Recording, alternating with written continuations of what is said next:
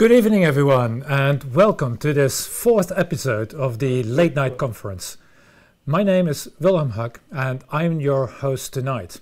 I can't believe it's another month gone. We are still in curfew, but there is progress. Curfew has now gone from 9 p.m. to 10 p.m., so I guess uh, we can enjoy our evening tonight and still get home in time. Um, by the way, um, the best April Fool's Day joke I heard today was one of my colleagues telling us in a large Zoom meeting that he had heard that plants apparently can spread COVID as well. And uh, he had already removed them from his office. I would say, poor plants. Um, there we go. Um, we're talking about life already. And today's uh, guest is certainly someone who explores the very essence of the chemistry of life. And to give you an introduction, one of the intriguing questions that people have been talked about for, for decades, I guess, is whether life can really consist of only the molecules that, or maybe even elements that we typically come across. And so you, you always have molecules containing carbon, oxygen, nitrogen, uh, but typically not silicon, for example. Uh, and my gut feeling is that if you look at the thermodynamics of the carbon-oxygen versus the silicon-oxygen bond, then you will understand that if you breathe out CO2, then you can recycle that CO2. But if you would breathe out silicon oxide, which is sand, then you would never be able to recycle that again. Still, that leaves us with a question, of course, to say, well, what are really then molecules that are typical for life? And our guest tonight, uh, Professor Lee Cronin, has developed new methods to determine if a molecule is produced by living creatures or not in a very novel and unbiased way using mass spectrometry and quite a bit of artificial intelligence, I suppose. Uh, another area that Professor Cronin is rightly famous for is his love for gadgets. Uh, he, his dream is to make a robot laboratory, and I'm sure we will see snippets of it tonight, where experiments are fully automated, where samples are injected into mass spectrometers, uh, fluorometers, whatever matter you, you can think of, uh, and the analysis is automated, and the results are then fed into some algorithm that dreams up new reactions for the robot to carry out. And I think this is a really exciting vision, uh, and I hope we will learn more about these laboratories of the future tonight. To give you a little bit more background about our guest, uh, Lee studied chemistry at the University of York, where he also obtained his PhD, uh, uh, specializing in inorganic chemistry. After postdoctoral positions in Edinburgh and Bielefeld, he took up his first academic position in Birmingham, uh, but moved to Glasgow in 2002 where he has been ever since, uh, very rapidly rising through the ranks, and he's now the Regius uh, Professor in Glasgow. He really has won too many prices to list tonight. We would spend all, all evening. Uh, let's just say his CV is massive. Uh, one thing I think that I would like to mention is that Lee is also a movie star. You, you, he's very good at communicating his science. He's uh, very active on Twitter, but perhaps you should all watch the movie Inorganica 2013, uh, in which, as the IMDb database cites, a Scottish scientist seeks to answer one of the greatest questions by creating new life in a lab. It's a highly recommended uh, movie. Uh, actually, for people in Nijmegen, they probably have seen this a few years ago uh, at the uh, Science Movies Film Festival. So let me keep it at this. Uh, we have an accomplished chemist here tonight uh, who is well known to tackle extremely challenging problems, uh, and he has no problems commuting uh, his science, and I'm sure it's going to be a very exciting evening. Before we start, please let me remi remind you that we are looking for interesting questions uh, from you, our audience. Uh, um, put them in the chat and we'll pick them up later on.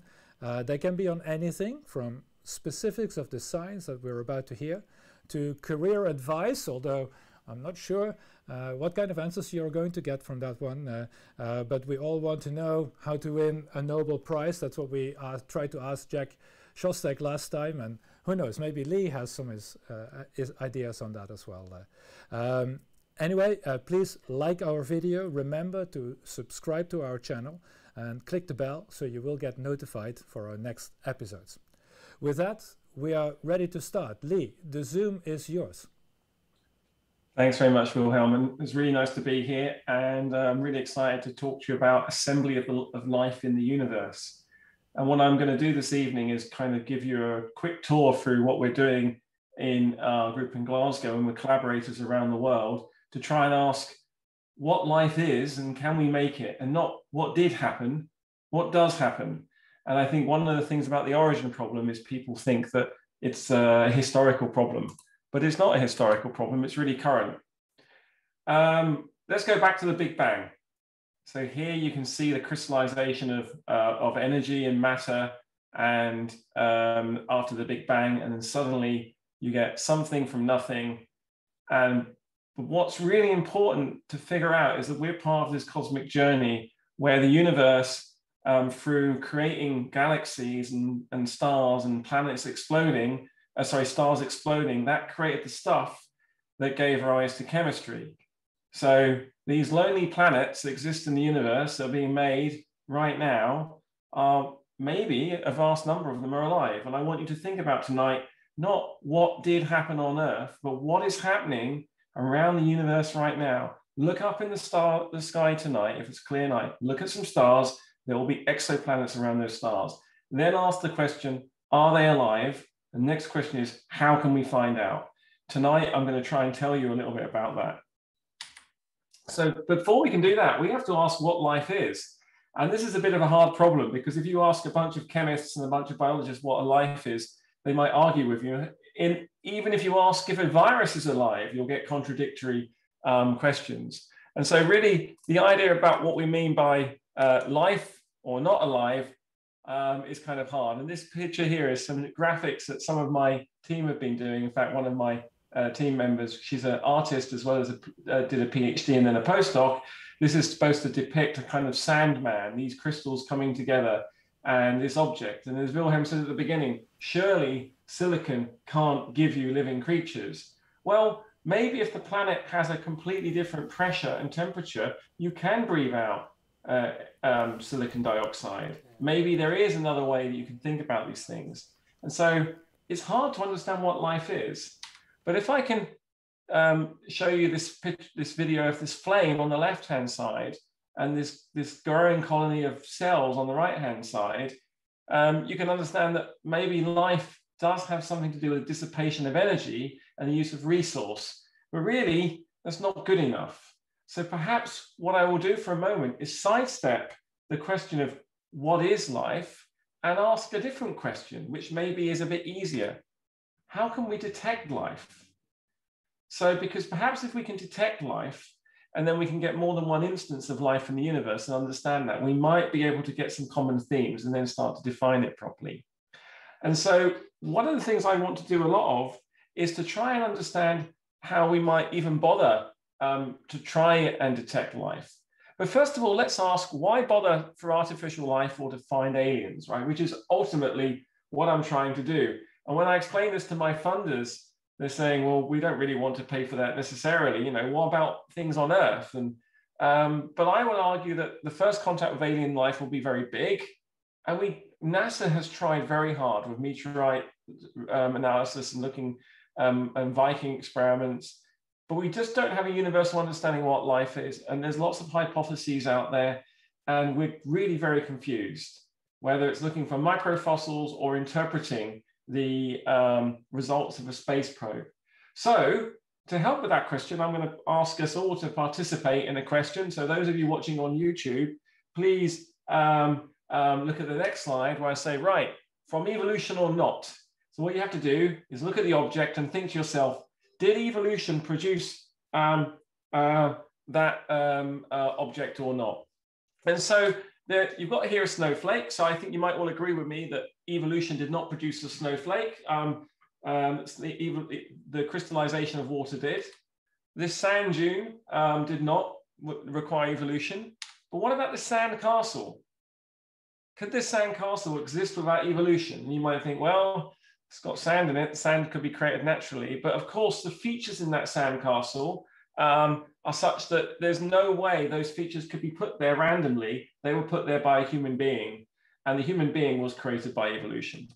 Um, this brick was also created by evolution via a human being, but it doesn't really have enough features. If you found that brick on Mars, um, you might um, be uh, forgiven for mistaking it as just a rock. Whereas if you found that sandcastle on Mars and you found a whole bunch of them, um, you might conclude that Mars has living uh, people making sandcastles. Same with this dust mite from evolution. Now we get to this protein. In fact, this let this slide, I got this picture many years ago before the age of COVID. Um, if you ask yourself if COVID-19 is alive or not, well, that's the wrong question.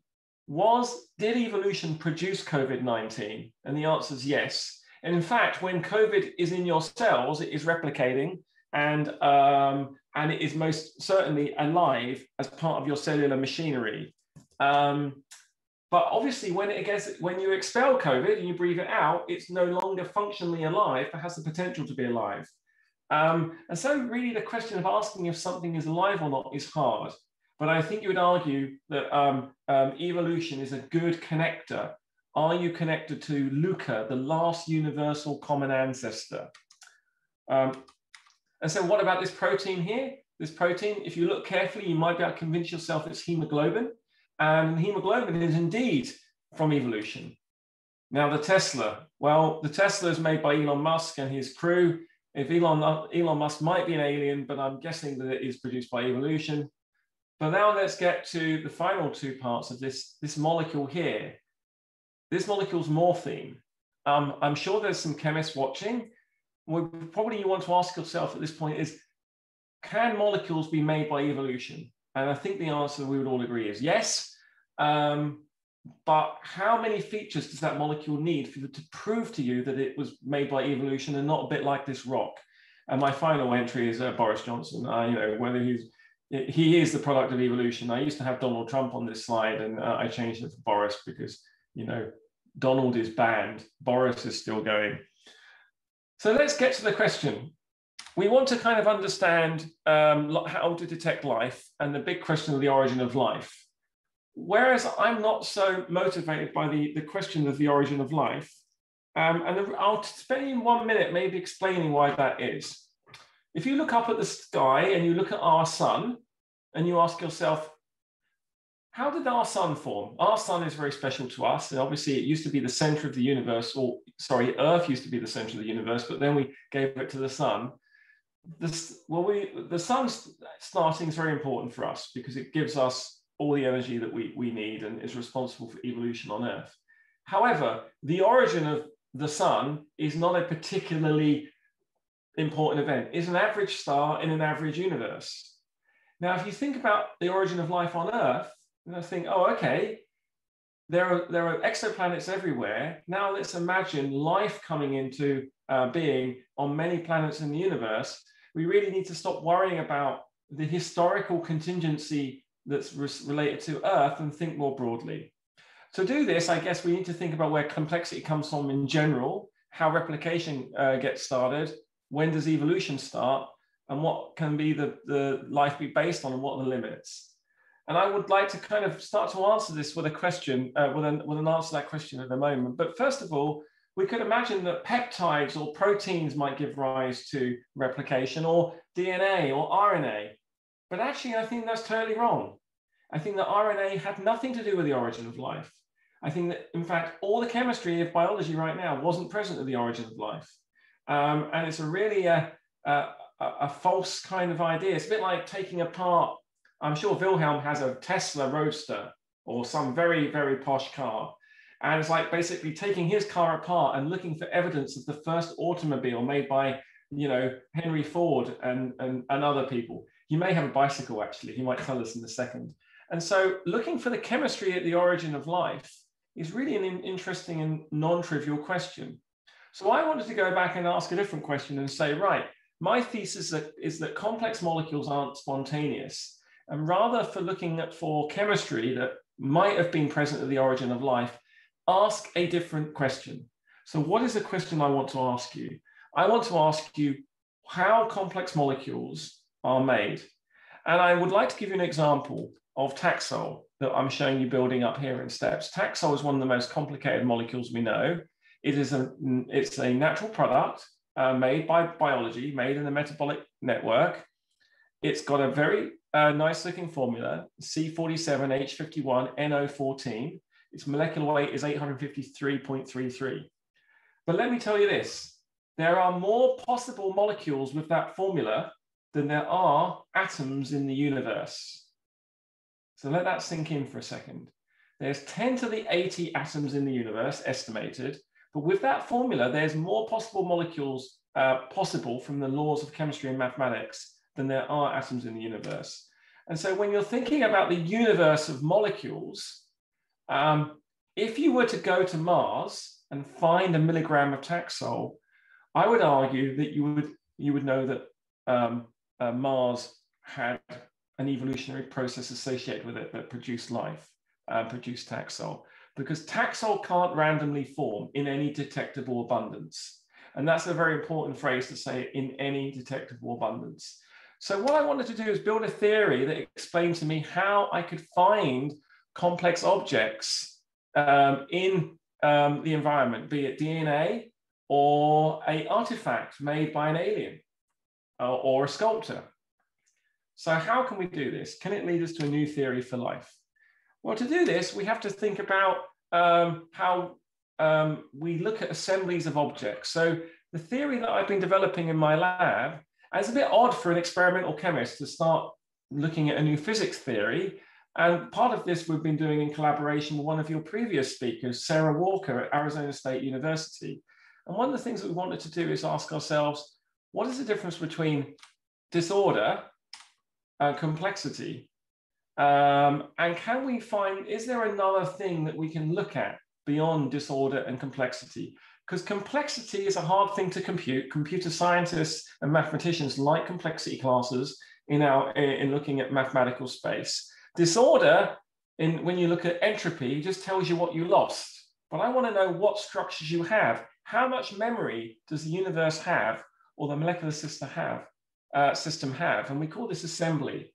And so from this, we've created a theory called assembly theory. Now, I'm going to go through it very quickly here because of time um, constraints, but it's not particularly tricky uh, the way I've described it, but it is a bit, there are some very um, significant um, outcomes. What is assembly theory first? Well, it describes the minimum number of steps needed to construct a given object. So imagine making, say, a um, piece of art or piece of origami or to, to um, construct a Lego um, um, um, um kind of object, maybe a house or something, what you'd ask you to do, you'd have to go to the box of Lego bricks. And each time you pick out a brick, that requires some information. But if you could pick out five bricks at once and link them together, and then you know that you've done that, that, that you understand that control, you could carry on doing that um, in steps to make more and more complex objects without having to go back to the individual brick. It's about adding things together. Assembly information is a function of the abundance of the object. So if you find Taxol and you only find one molecule of Taxol you know, in space, that doesn't really tell you very much because random stuff like that may happen. There is a very, very, very, very small chance that Taxol could randomly form. Well, actually, I'm just saying that to keep the physicists happy, the, the, the, statistical mechanicists. I can tell you pretty much it's zero chance. But the point is, the higher the assembly number, the lower the, the, the, the number of objects that will be accessible using random events. I'll say this final thing again one time. The higher the assembly number for the objects, the lower the number of objects that will be accessible. So, the, um, so it's very rare to find high assembly objects um, using random events. And let me explain why. In this slide, I show how assembly theory works on building blocks and then on letters and then on chemistry. But on the right-hand side here, I show you this kind of tree root assembly step diagram. Forgive the mathematics, but look at the graph, which says probability of the most likely path, and then the assembly path. Now, what I mean by this, the assembly path is a number of footsteps you need to take down a tree. And every time you make a step, you make a decision. And for a molecule that has an assembly number of 15, okay, if you look on the graph here with this alpha, this is about the kind of the kinetic control, but with an alpha of about three, um, when you get to assembly number 15, there is if you look at a mole of molecules, there will only be roughly one molecule in that entire uh, um, in that mole that's identical because there's so many possibilities. So when you take 15 steps, there's a mole of possibilities. And that means um, there's very many things to choose from. So when we learn to explore chemical space and using assembly theory, we can count the steps to make the molecules. So we can look at um, um, uh, something as complex as ATP or something simple like asparagine, and then we can look at chemical space and see that molecular weight um, and molecular assembly um, have some correlation low down, low molecular weight, but something remarkable happens at medium molecular weight. There's assembly numbers everywhere, which means that molecules can adopt a wide variety of assembly numbers. So what's the bottom line? The bottom line is if I went into outer space and I could find a molecule that has a high assembly number and it's high enough, I can tell you it's an alien. That's my kind of hypothesis. Okay, how do we do this? Well, there's a what we've been doing in my lab is building experimental measures for molecular assembly, and we've found that by using mass spectrometry, we can take molecules, put them in the gas phase, and break them apart by fragmenting them and then counting the number of parts. And what we found is that the assembly number calculated theoretically and the number of fragments we see in the mass spec correlate. Now it's not a one-to-one -one correlation because mass spec is kind of breaks a lot of breaks bonds everywhere, but we do get a correlation and we don't get any false positives. So we were able to build an assembly measurement system. We were able to take uh, um, materials from all around the world and outer space, and from dipeptides to seawater to um, Scottish whiskey and beer. Um, and we were able to find that basically things that came from life only produce molecules that have a high assembly number. So this is kind of interesting in that we're finding that life can produce complex molecules, whereas non-life that cannot. And if you burn the molecule, you obviously you lose the complexity. And that gives us a very interesting um, way to search the universe in our laboratories. So now we have a detection system for, um, for life.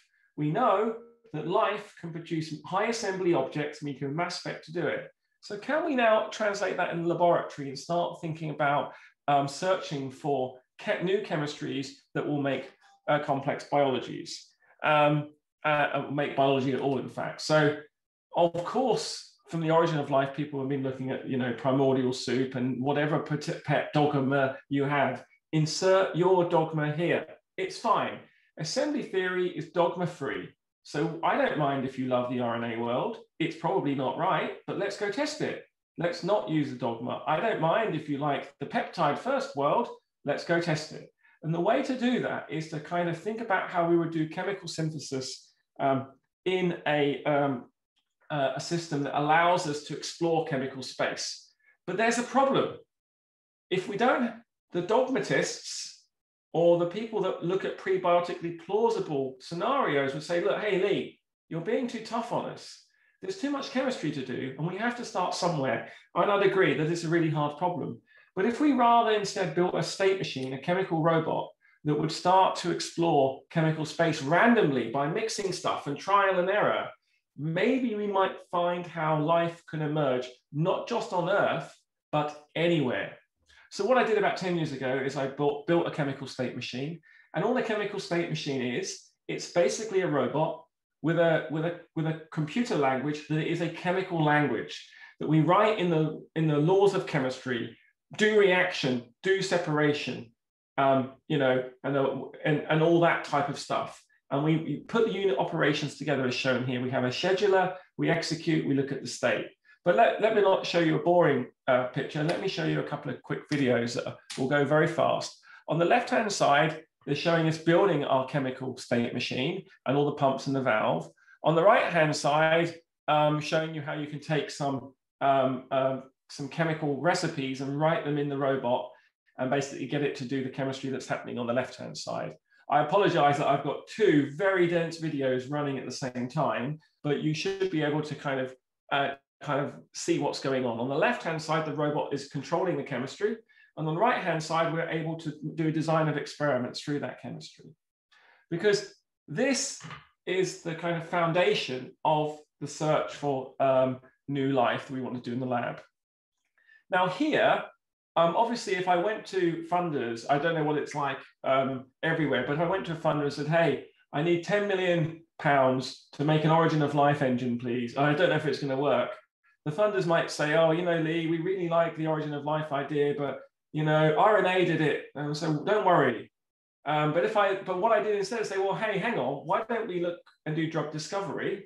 And they said, oh, great, have some money. And by the way, once we're doing drug discovery, can we use this to um, repurpose it for the search for um, uh, new life forms? They said, okay, go on. And that's kind of one of the points I want to make to young scientists here. It's like, don't be, you don't have to lie about your vision, but sometimes when you, when you, your funders and your peers don't share your vision, just say, well, what are you interested in? And find a common overlap. And one of the reasons I built the computer was because of my um, desire, my certainty that we need to build an origin of life engine.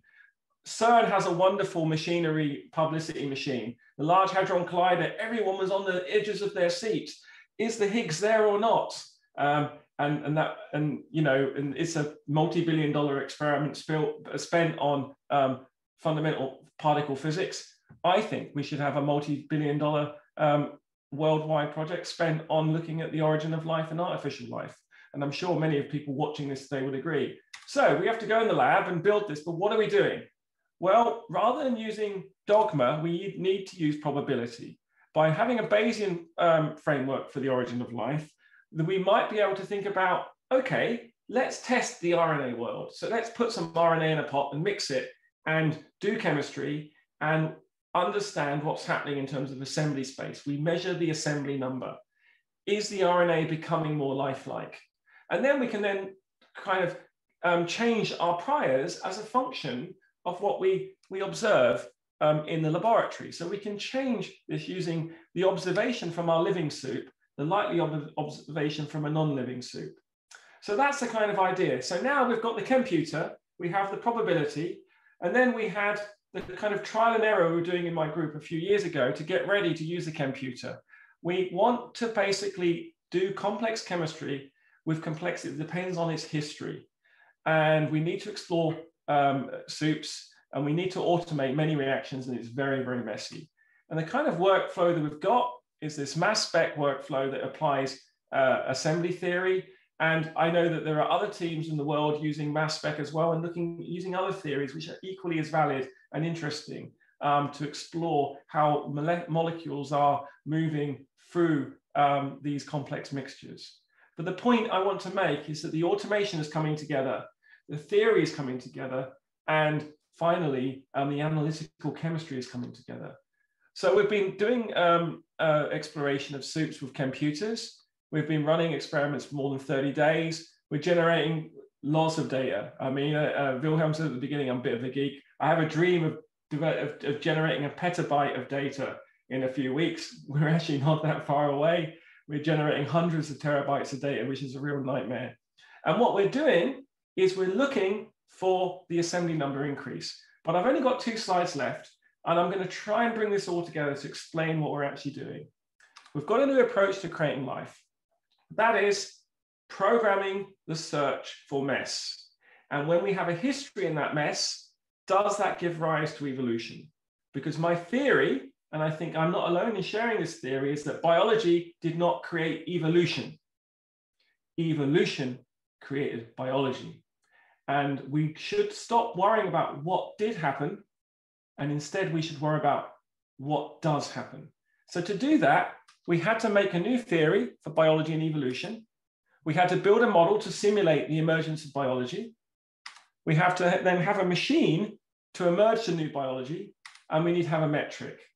And so this figure here is a figure that um, Sarah and I produced when we were writing a perspective uh, many years ago for science to say, look, origin of life is really interesting. It's great. There are so many people involved from lots of different areas, where RNA world, the peptide world, whatever. But what about if we start thinking about coming from a non-living world and putting information into the system? And I think that's kind of the thing I want to leave you with that, that we can see, start to see with assembly theory the propagation of information through chemical systems and when they become um, uh, open-ended evolvers. I want to stop here. I'm going to stop um, uh, perfectly on 25 minutes, and I must, and I want to thank my team. Here, it was the year of the lockdown, so we all took lockdown selfies. I would love to um, thank them for their hard work. I also must acknowledge um, the University of Glasgow, who've been really supportive, European um, Research Council, um, the EPSRC, who were key funders, the Templeton Foundation, who also actually funded the Origin of Life work explicitly. They were really supportive of the mathematical development. And without the Templeton, I wouldn't be able to get that off the ground and all these other funders here. But last but not least, I'd like to thank Wilhelm and his team for putting this on and also you guys for listening. And I'm happy to answer questions. Thank you. Thank you, uh, Lee. That was a fantastic, uh, fantastic presentation. Um, you you've shown us an insight in the work that you're doing, but also the thoughts that you have behind it. And you, you started with the assembly number. You moved to your chemputer and your your new robot lab, and and you ended up with a new, well, new theory of life, new approach to creating living system. And and I think the message that we can take from tonight is that um, evolution created biology and the question is, of course, what created evolution? And that's maybe something that we can talk about right now. Uh, before we do that, um, I can show you the car that I don't have, but my students thought they will give me a Porsche, but this is the only thing I've got. So, so yeah, we, as you know, in the Netherlands, we just cycle. That's all right. Perfect. Um, well, my my, my first question was really going back to your assembly number, where you, you talk about the probability of such a molecule being formed, but many of the chemists in the audience might well say, well, of course, it's not completely random. There's a lot of chemical reactions that have to take place, and they are driven by the laws of chemistry. And so that's why you end up with these molecules. I, I, would say that they're wrong. And I would say the laws of chemistry are, are contingent upon biology. And I would say that what are the laws of chemistry? The laws of chemistry are really simple. They are the periodic table and quantum mechanics and reactivity. So think even something like a, the simplest chemical reaction you can think of. You need pure reagents, you need a flask, you need to specify the pressure, the temperature, and so on. So I would say that reactions do not really exist that give you high assembly number objects. Only reactions exist to give you maybe low assembly number objects. And what the challenge is, is how those reactions give you high assembly, can make the leap to high assembly number. And so what I'm doing right now is say, it's not that reactions don't exist, of course they do, but reactions are the product of evolution on Earth PV equals nRT, one atmosphere, 298. And I'm really excited about this observation. And I'm going to be um, discussing that. And I think this is a good argument to have because I'm sure people won't accept that. But I think we have to use that as an extreme example because some chemists think that complex molecules can just magically form. They can't. They need well, information. I couldn't. I, I, I was not say that they could randomly form, but likewise, if you shake a box with atoms, then the number of possible molecules, hypothetical molecules, would be very large, but in practice, the actual number of molecules formed will be much smaller. And Correct. I so so saying that, so when you shake your box with lots of atoms in it, you just get low assembly number because your box only gives you um, the the constraints are very small. So the the question is, how do you get contingency and constraints into your reactions. So my guess is that you have to interact with the inorganic environment. Maybe there's some chance catalysis you might get from a mineral. Maybe there is a, a biphasic event that occurs. And so the question is to find, of course, complex molecules had to form. If they didn't form, we would not be here. But there's no big leap. And so what we have to look for is those autocatalytic cycles low down in small numbers that can give you a trajectory in space away from the boring norm of those of those atoms to somewhere a bit more special that has some function associated with it and i think that's a really exciting search that we're all on right now Yeah, and I think certainly the interaction of molecules or reactions and their environment, uh, I think is definitely one of the things that we have to take into account. Uh, you also mentioned catalysis is is extremely important because otherwise the the range of chemical reactions will still be fairly limited. Uh, uh, whether we need autocatalytic cycles, I think there is some autocatalysis uh, probably required, but if, if everything has to be built on autocatalytic cycles, I, I, I don't know. I think that you can show mathematically that all that autocatalysis is much easier than we think. But I think what you're talking about um, is special autocatalysis that does something um, in terms of making function. And I think you're right. And I think you know both you and I share a fascination for seeing how we might firstly engineer that and then watch it naturally, whatever that means, that word natural or abiotically or randomly emerge. And I think that's a really important question how we can engineer it on one hand, and then how we can watch the same type of thing emerge. And that is going to be where I think all the excitement is, certainly for me. Thank you. I, I also looked at one of the questions from the audience who somebody called M Force, I'm not sure that's the name, uh, because what molecular assembly index would a polymer of RNA have? So, okay, so the molecular assembly index, first of all, aims at look at what you want to do is um, look at molecules. You can do the polymer, but the way to think about it is to say, first of all, let's take the monomers in RNA and, and, and write down the assembly number. And then if you then take, say, um, a, a um, three base pairs, different base pairs of RNA or four, you could then say the assembly number of those would be simply summed up. You might have some graph duplication, so the assembly number might be lower, but say like typically a trimer of RNA, where each base pair would be different, the assembly number would be way over the, uh, the, the threshold we see for life, so probably about 30, very, very high. Um, the, so, and the interesting thing is, this means when you see really, in, really quickly, even a trimer a, a, a oligomer of RNA with three base pairs in it cannot form naturally, not in the universe lifetime. Impossible. So the problem then we have is like, what? Where did that come from? So RNA, people would probably say, well, that looks like it's a molecule that is that is present in life. But what if it would be some random tripeptide or a or some amino acid with a with, with some oligoethylene glycol attached to it. So something clearly abiotic, I guess. Um, how would you how would you define the the number in that case? So in those cases, in the so in our experiments so far, we have shown we have been able to see quite consistently you do not get molecules with a of a very high assembly number coming out, even when you have um, messy peptides present. You just don't form them. You just get a vast mess. So, but when you when you stack the deck, use pure reagents and maybe add them in order, suddenly it, you um, can create very complex molecules. But actually, the information came from the chemist because they had a recipe. If you put everything in the pot at the beginning and you don't mandate pu- high purity and you really are very careful to say, okay, I'm going to be unbiased and do it, you do not get anything with really a high assembly number yet. You must at some point, there must be a mechanism by which that happens, but it's not in the prebiotic reverse engineering, I call it. There's something else that has to happen lower down.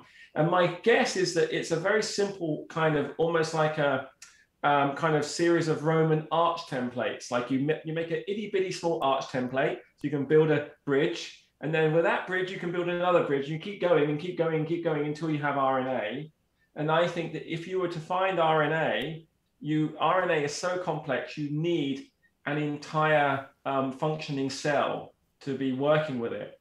The RNA world that is presented never existed because the RNA world probably requires more information than you could ever generate in a universe lifetime. And therefore, we have to, not, rather than become a creationist, because I'm most certainly not, there is a naturalistic explanation, is that it's a different chemistry that invents RNA. And RNA is very late. So I think I'm not arguing that RNA isn't important. It's just the, one of the last things and there was open-ended evolution before RNA. Well, we clearly don't have Jack on the show tonight to uh, to to help us uh, fight that battle. Um, so I wanted to move on to to the next question that Oliver McGuire is asking. Uh, he says, with assembly theory, you focus on the minimum number of steps to a molecule, but this doesn't factor in the that the fastest route to a molecule may not be via the minimum number of steps. Yeah, that's correct. Assembly theory is a probabilistic theory. By focusing on the minimum number of steps, you want to find out what is the shortcut you're going to get there so you don't get fooled. So assembly theory is not supposed to tell you anything about synthesis routes. It's about to say, oh, that molecule is complex. It gives you a complexity number that's objective in a random world.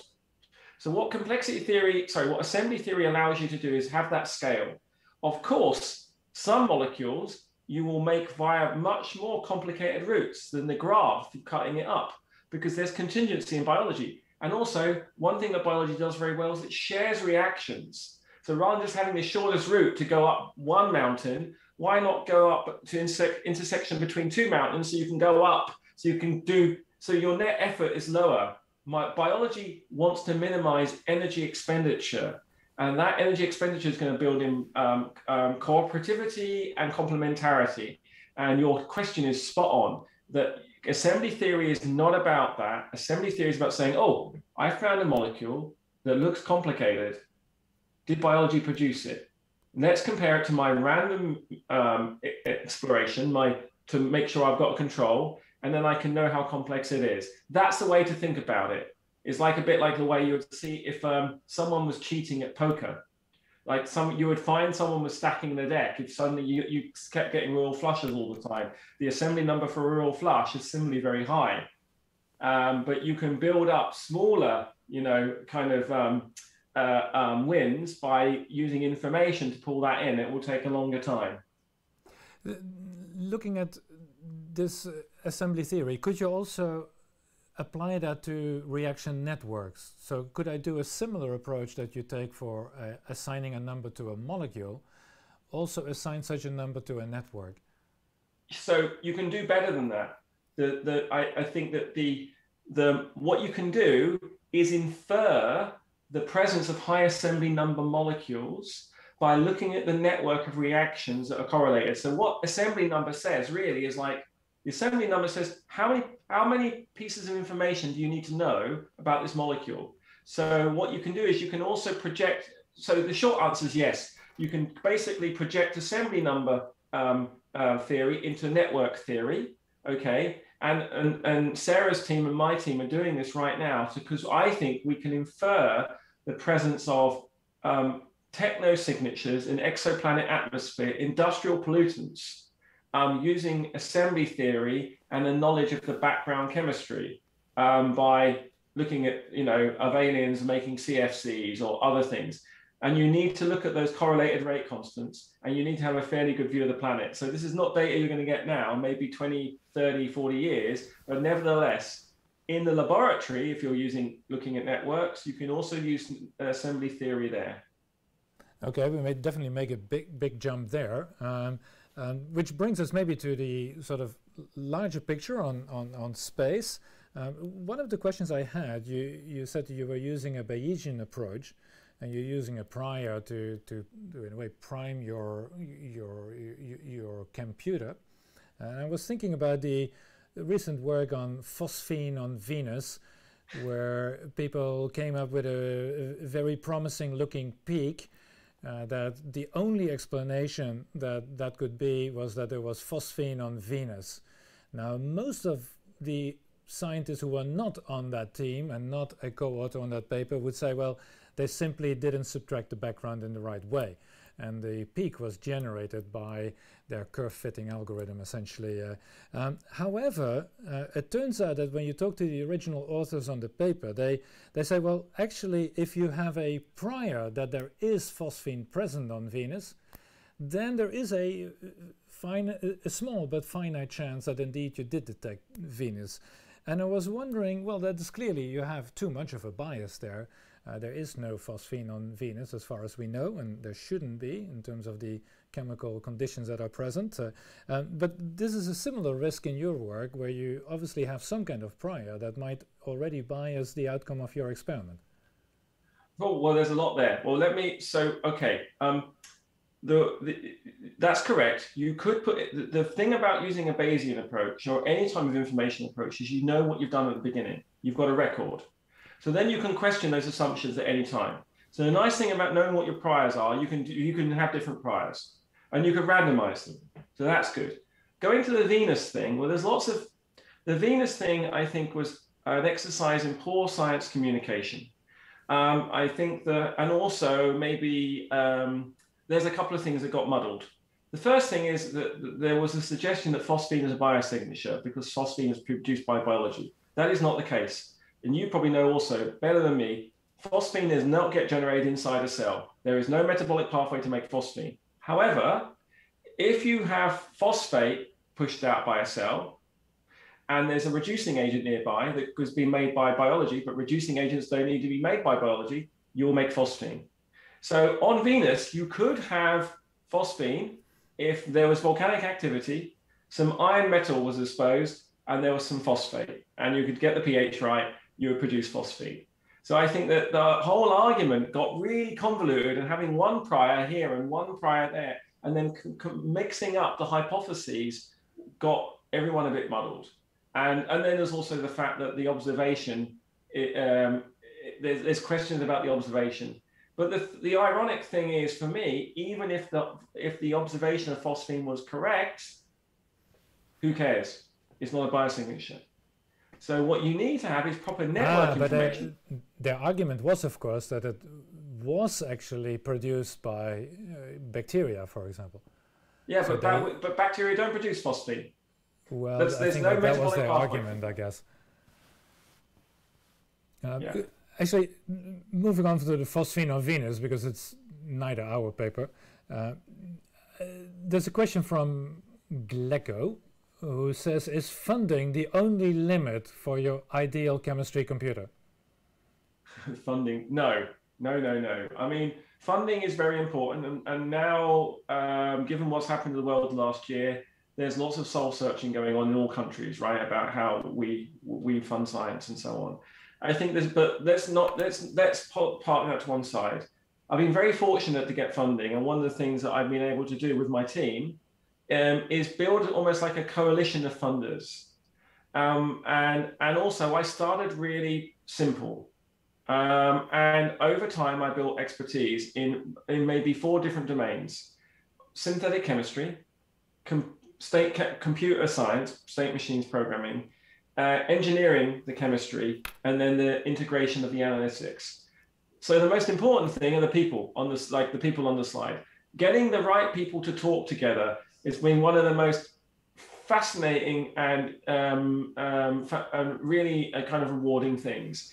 Getting people in a team where you get a synthetic chemist who's willing to listen to a computer scientist, who's willing to listen to an engineer, who's willing to listen to a mathematician, and then vice versa. Roboticists are scared of chemicals in a lab, and some chemists are scared of the programming of the robots. And they're not so much now, and it's really come on a lot. So I think for me, the limitation was getting the right people together and building the teams. And I've been really lucky um, that my team has been um, so open-minded to my madness. I think that's why they do it. They're, they're all equally inf- afflicted by my madness. So they kind of build a, you know, like a, a self-help group. uh, don't, don't, tell the funders that it is a self-help team. Um, actually, talking about funding a bit more, um, the question from 6 to 6b, why do you think the general field of science is more interested in putting funds into the Large Hadron Collider than instead of the origins of life? I, I think not the general, I, I, think the science is not, but the funders might be. Yeah, I, I so I think that I, think that um, the, the, the, the, the mm, let's go back the reason that CERN is so successful goes back to what happened after the Second World War. Basically, you had all these nuclear physicists, you had to give them a job, as far as I can work out. You don't want nuclear physicists unemployed, right? That was bad. That would be bad. But then that wasn't the real reason. Then it went on, and CERN was very successful and the revolution in understanding the universe. What do people want to know? They want to know why we're here. They want to know what's going on in the universe. But I think that the origin of life and artificial life and alien life also fits into that category. And I think that CERN just, just has a very, is very good, very professional. And CERN has done a number of really important things. It's made a worldwide collaboration in the discipline physicists are grumpy too, not just chemists and other, uh, you know, getting physicists to collaborate on something like that because they can't do the project on their own, it was really great. So what I would love to do, one of my ambitions is to help nucleate a worldwide initiative on making artificial life and origin life, and let's collaborate together. All the chemists get together. You know, we'll still argue a bit, but we'll have a bigger cause. And I also think, I, I, uh, Lee, I fully support that if the committee of the Radboud Glasgow uh, Collaboration Fund is looking tonight, this is your chance to make the first step in that direction, uh, because I think it's it's definitely the the the, the point that uh, we should collaborate more and we should integrate sort of real experiments going on in different labs. Uh, and I think your approach uh, using a robot build or a algorithm build analysis uh, is really the way to connect different labs. Uh, I would also say that uh, I probably agree that origin of life or life in the universe is as big a question as whether the Higgs boson exists or not. And I think funders are perfectly happy to, to fund us. Uh, and they realize that we don't really need a billion. So, so in that respect, CERN has a head start, but we, we don't really need that much funding. Well, I, I, would I would say we do need a billion distributed over the labs for the hardware. The other thing I would say quickly is I remember a few years ago that, that there was a Dutch um, TV program called The Mind of the Universe that I was on, and that really showed me that the Dutch public really fascinated by the origin of life, really support it, really like yeah, it. They are not going to give you a billion. That's the problem with the Dutch. Uh, so Dutch funders, if you're looking now, uh, you can't do it on the cheap. You, you, should really make sure that you fund excellent science here. So that's uh, that's leading. But I think the fact to captivate the public, I think the Dutch public are very enlightened. I think the UK public are as well, and there's lots of people around Europe and maybe the US and further afield. So I think that people are interested in this question, the meaning of life through chemistry. So maybe touching on on that general public, what lessons can we learn from understanding the origins of life for the challenges we face in life today?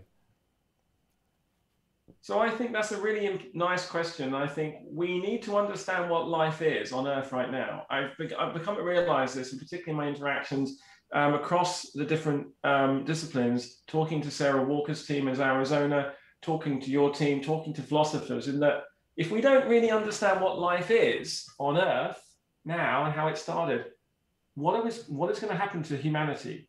So actually, I think understanding the origin of life and funding that is even bigger imperative than the Higgs because we need to know how is the internet going to evolve? What happens when we get AI that can evolve and make decisions? How does consciousness emerge from in, in a living system?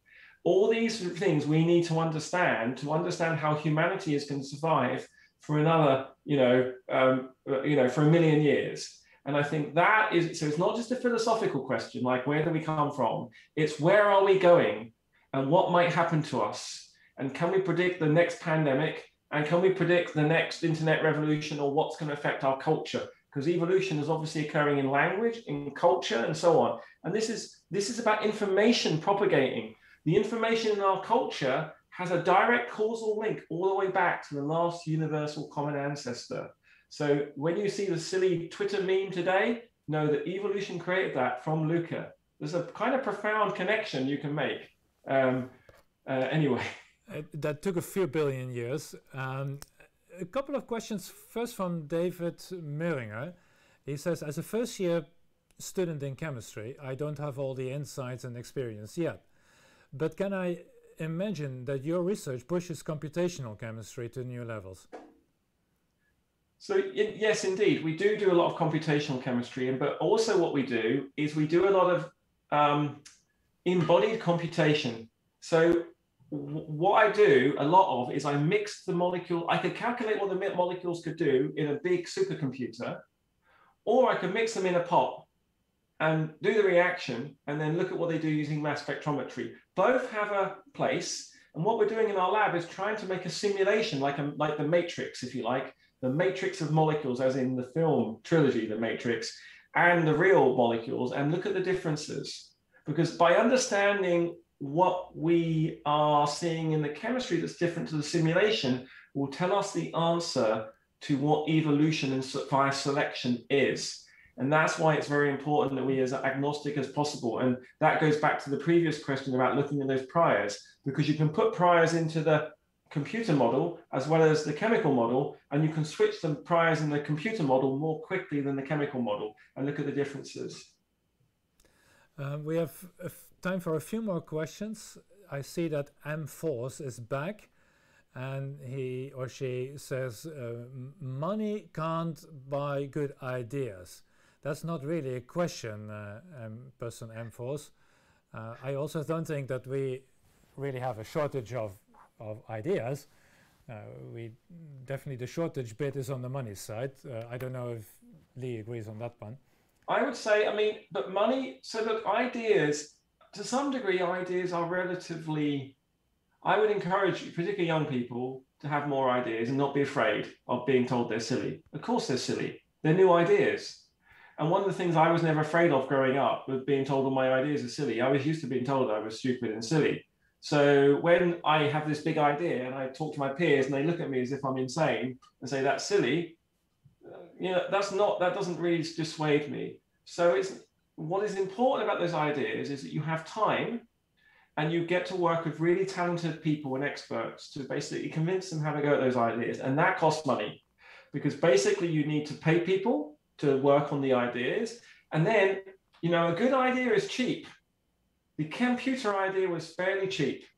Building that chemputer was five years and lots of lots and lots and lots of work from maybe 25 people dedicated on that project from building the PCBs on the and the pumps and the valves, for designing the software, for checking the chemistry, checking it was safe, and all that stuff. So I would agree with you that money doesn't give you idea no ideas, but I would say that money actually is instrumental in working out if an idea is good or not.